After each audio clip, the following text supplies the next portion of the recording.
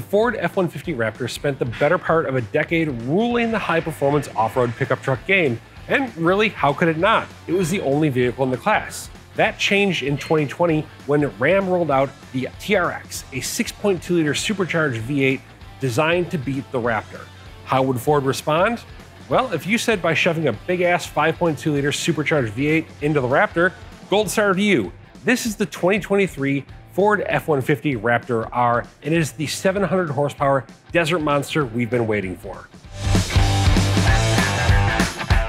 Be sure to follow Motor1.com on all of your favorite social media platforms. You can find us on Facebook, Instagram, TikTok, YouTube, Twitter, and wherever else you go to waste your time online. All right, let's get the big question out of the way first. Much as the Challenger donates its 6.2 liter supercharged V8 to the TRX, the Shelby GT500 donates this 5.2 liter supercharged V8 to the Raptor R.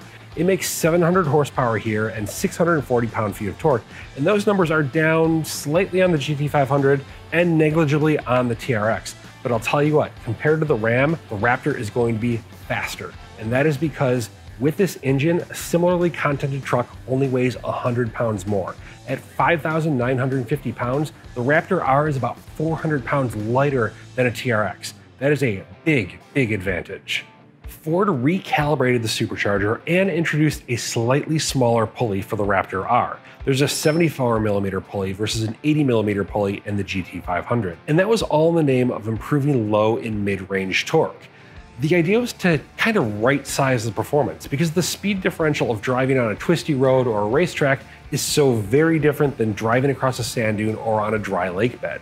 And as a result, this vehicle makes 25 pound feet more torque than the GT500, and it produces more torque across the rev range, especially at the engine speeds that it will be doing all of its work.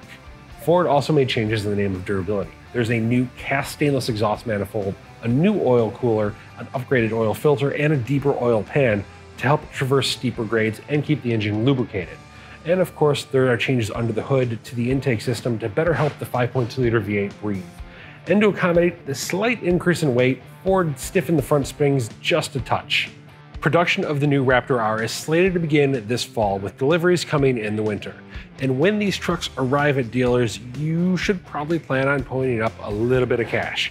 Prices are set to start at $109,145, and that is a lot of money to be clear but considering the improved performance and more accessible torque relative to its biggest rival and the traditional Ford capability, might be okay.